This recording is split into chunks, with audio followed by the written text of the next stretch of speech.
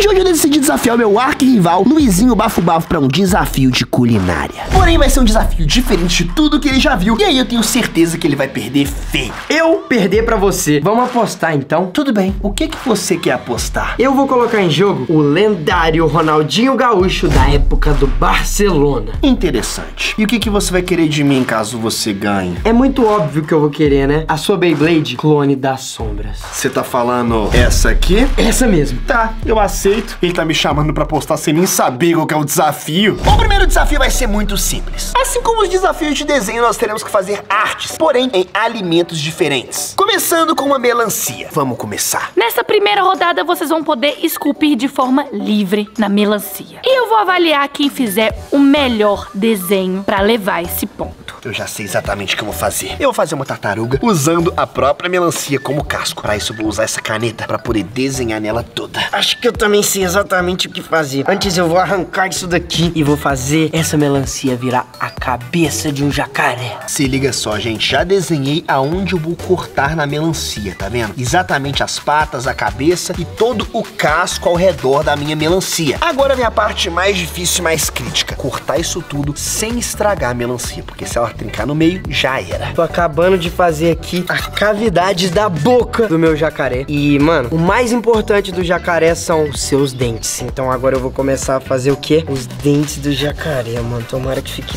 bem dentuço e bem pontiagudo, assim, bem da hora. No fim das contas, eu acabei desprendendo a minha tartaruga do resto da melancia pra ela poder ficar em pezinha. Olha só que coisa mais bonitinha, gente. Olha o olhinho dela. Mano, eu acabei de raspar os dentes e fazer esse contorno aqui no olho. Não acho que isso tem muito a ver com o jacaré. Mas às vezes é um jacaré, sei lá, dos Estados Unidos ou da Austrália. Pelo visto, vocês dois terminaram. A realidade é que a sua, Luiz, ficou parecendo mais o Pac-Man do que um jacaré de verdade. Então, Enaldo, a sua escultura ficou bem fiel a uma tartaruga e você ganhou essa rodada. Eu sabia que minha tartaruga ia ganhar. O Luizinho, ele é muito fraco. Próximo desafio vai ser uma arte na pizza. E lembrem-se, a pizza tem que ir pro forno. Se deformar o desenho, vai ter que passar pela minha avaliação desse jeito. Fazer arte, vocês vão ter todos esses ingredientes e vai estar valendo em 3, 2 ou já! Galera, como eu gosto muito de super-heróis, eu tive uma ideia brilhante pra fazer uma pizza heróica. Então eu vou começar aqui, ó,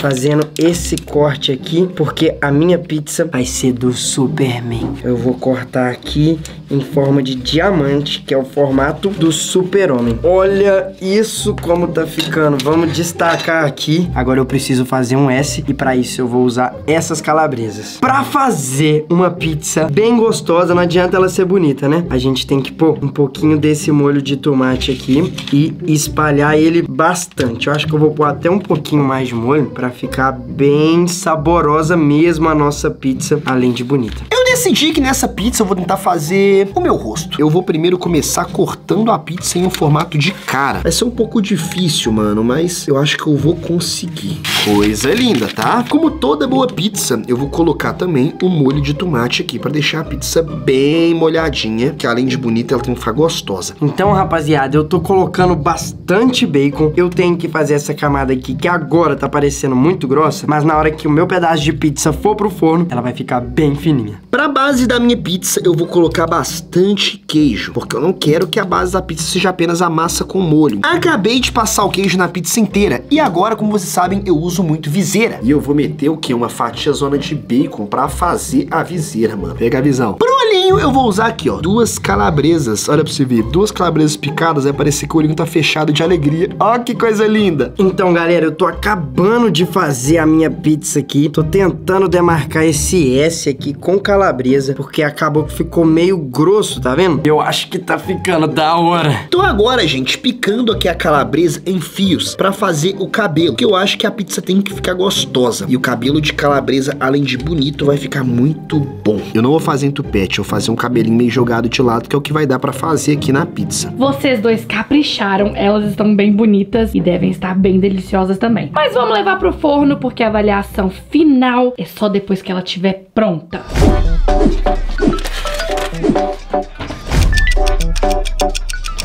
as pizzas do forno. Esse é o resultado da pizza do Luiz. E realmente o bacon deu uma encolhida. Essa é a pizza do Enaldinho. Enaldo, isso não tem nada a ver com você. Tá parecendo um boneco de neve. Claro, depois que esquentou o queijo derreteu. Ah, que raiva! Luiz, o seu escudo do Superman ficou mais bonito. Isso! Isso! Empate. Agora vamos pra próxima rodada. E a produção decidiu preparar um desempate em uma comida melhor de três. O desafio da arte na panqueca. Nessa primeira rodada dessa final, eu quero que vocês desenhem um Among Us. Luiz Bafo Bafo tá um cara fraco. Na Among Us, eu sou o impostor. Vambora. Ô, mano, você não falou nada com nada. Você vai é voar da nave. Pra fazer arte na panqueca, a gente tem que pensar no que vai aparecer na frente primeiro e depois ir colorindo o resto. Vou começar fazendo o contorno do meu Among Us desse jeito aqui assim. Depois eu vou vir aqui fazendo o corpo dele com as patinhas desse jeito. Além disso, ó, vou fazer a mochilinha do meu Among aqui assim. E agora é só colorir o meu personagem. Vou fazer aqui, ó, um olhinho branco no Among Us, ó, desse jeito. E vou colorir de azul o óculos do meu Among, ó. Aí eu posso colorir até aqui por cima que não tem nada a ver mais não. Pra fechar, eu vou fazer uma coisa muito ousada. Eu vou basicamente fazer essa base aqui de vermelho, só que eu vou deixar esse vermelho queimar um pouco do ponto. Pra quê? Pra dar uma diferença de cor entre a parte de cima do meu Among e a parte de baixo, pra virar um Among Us perfeito. Já tem um minutinho que eu deixei o vermelho ali queimando e agora eu vou finalizar colorindo o restante. Dessa forma aqui, ó. Eu vou jogar de uma vez para não dar diferença de cor, ó. Vamos virar. 3, 2, 1 e... Ai! Não! Foi muito lindo, meu Among Us! Se eu perder, é roubado. Eu nunca fiz isso na vida, mas eu acho que um Among Us não vai ser tão difícil assim. Eu vou começar fazendo o óculos dele também, aqui assim, bem consistente. Agora fazer a cabeça dele. Ele não ficou no formato que eu esperava não. Vamos dar uma ajeitada aqui. E agora fazer a mochilinha dele aqui. Também não ficou muito no formato que eu queria. Agora eu vou usar essa espátula para limpar isso daqui, porque isso daqui foi um erro, né? Vamos tentar limpar isso daqui de alguma maneira. Agora eu vou usar aqui para fazer os olhos do Among aqui bem de leve, fazer aquele detalhezinho do olho. Vou fazer o olho do meu aqui de roxo. Eu tenho que me diferenciar e me destacar nas cores. Agora eu vou colorir ele na cor que eu mais gosto de Among Us, que é a cor verde. E eu vou colorir ele por inteiro assim, de verde, de maneira que a cor fique bem consistente e bem única. Então a gente vem com bastante cuidado aqui, pensando em não quebrar ele. Tá vendo que ele é bem frágil? E ele já tá quebrando. Ah, não, mano. Quebrou metade dele já. Mas calma, que a gente pode tentar juntar ele ainda. Vamos virar. Ui, tá meio quebradiço assim, mas calma. Esse é o resultado final. Não ficou muito bom, mas pra primeira arte de panqueca, acho que passa. Final de primeira rodada, eu acho que nem precisava do meu voto. O pior Among Us foi o seu, Luiz. Ele desmontou inteiro. E Enaldinho, o ponto dessa rodada é seu.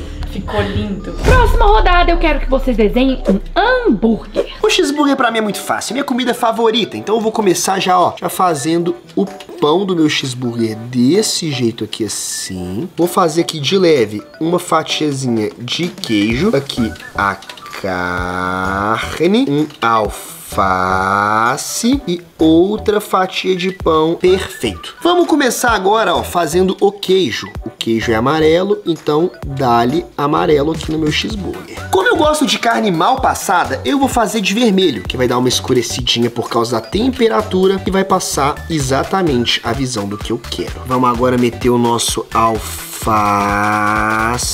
desse jeito. E vou finalizar com o pão de amarelo. E aí, ó, pra dar liga em tudo, eu vou simplesmente jogar o amarelo em absolutamente tudo aqui assim. Chegou o momento crítico de virar o meu hambúrguer. 3, 2, 1 e... Juro pra vocês, galera, meu hambúrguer ficou muito bonito. Tá, galera, então eu vou começar fazendo o meu hambúrguer, fazendo o que? A parte de cima do hambúrguer, que é essa parte mais arredondada aqui. E venho fazendo um traço aqui. E tem que lembrar sempre de dar liga. Por quê? No meu último desenho, o que falhou foi essa liga aqui, tá vendo? Exatamente esse ponto. Agora fazer uma camada bem grossa de queijo, porque apesar de eu não gostar de queijo, eu sei que as pessoas gostam muito de queijo. Uma camada também bem grossa de carne, porque eu adoro carne. E uma salada, mano. Esse meu hambúrguer tá parecendo mais um hambúrguer de pão de forma, mas é porque eu gosto daquele x-tudo, sabe? Agora eu vou fazer a camada de carne nessa cor vermelha aqui, pra quê? Pra que ela dê uma passada, né? Porque eu gosto de carne mal passada, mas pelo visto aqui tá muito mal passada. Agora eu vou passar aqui a coloração da minha primeira camada de queijo, que é essa camada pequenininha aqui. E já vou vir passando aqui essa camada grossona de queijo, mano. Que pra quem gosta de queijo, esse hambúrguer vai ficar delicioso. O meu hambúrguer de costas, assim, tá parecendo mais, sei lá, um hot dog, mano. E agora chegou a hora da gente fazer o quê? O nosso pão, mano. Que é o nosso diferencial aqui da casa. É igual o siri cascudo, sabe? Acho que esse eu vou conseguir. Vamos ver em 3, 2, 1 e... Ha! Olha só que hambúrguer maneiro, mano. Final de segunda rodada. E dessa vez o Luiz não estragou o sanduíche dele. É, agora dá pra comer, né? Esse é o hambúrguer do Enaldo. Comparando assim, eles estão com as cores parecidas, mas mesmo assim, o do Enaldo continua mais bonito. Ai, meu Deus. Eu sabia. O Luiz Bafo Bafo continua sendo meu pato. Pra essa que pode ser a última rodada, eu quero que vocês façam Pikachu. Deem o melhor de vocês. Pra começar, eu vou fazer o contorno da cabeça do meu Pikachu aqui e vou fazer as orelhinhas dele assim, ó. Mais ou menos parecida com a orelha de um gato, sabe? Agora eu vou fazer o resto da cabeça dele aqui e vou fazer o corpo dele em uma proporção um pouco menor. Vou fazer as patinhas dele aqui. Ele geralmente fica com as patinhas pra dentro. Agora eu vou fazer os olhinhos dele, que é só fazer duas bolotinhas redondas do mesmo tamanho. É difícil fazer um Pikachu, então eu tô gostando do resultado. O marco principal do Pikachu é o que? A bochecha rosada. E eu vou usar esse vermelho aqui para dar esse ar parecido de bochecha rosa, sabe? Agora para completar, eu vou ter que vir com esse amarelo, porque vocês estão vendo aqui que deu uma levantada, uma leve levantada na orelha. Então a gente vai ter que vir com esse amarelo aqui por cima, arrumando. Eu vou mostrar pro Enaldinho que eu sou bom nesse negócio aqui também. Vamos lá.